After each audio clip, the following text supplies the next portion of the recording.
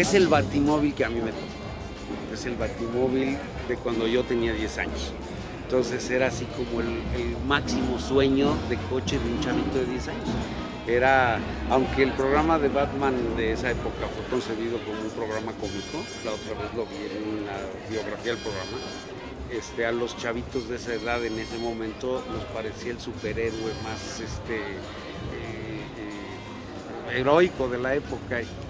Y a mí lo que me gusta, yo no soy fanático de Batman, o sea, vamos, nunca he sido fanático ni de los cómics ni de los superhéroes, pero el Batimóvil fue así como uno de los coches que marcó mi infancia.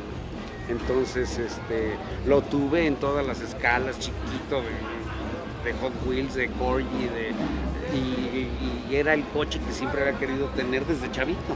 Y, y, pues después de muchos años se me hizo, se me hizo realidad el sueño. Fíjate que estuve buscando mil maneras de, lograr un batimóvil. Encontré kits de fibra de vidrio, encontré este, gente que tenía unos hechos medio malhechones y bueno, pues aquí me lo traigo y lo acabo.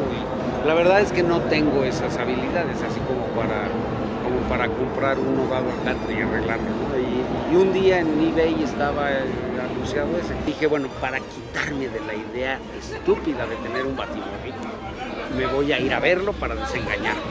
Entonces agarré un avión un sábado, fui a Los Ángeles nada más a desengañarme. Lo vi, me encantó y me lo toqué.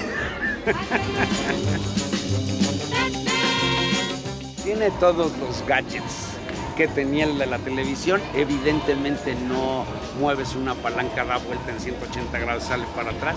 Tiene la palanca. La turbina, bueno, lanza fuego como la del programa de televisión, pero no es una turbina, es una tobera que donde lanza fuego con gas.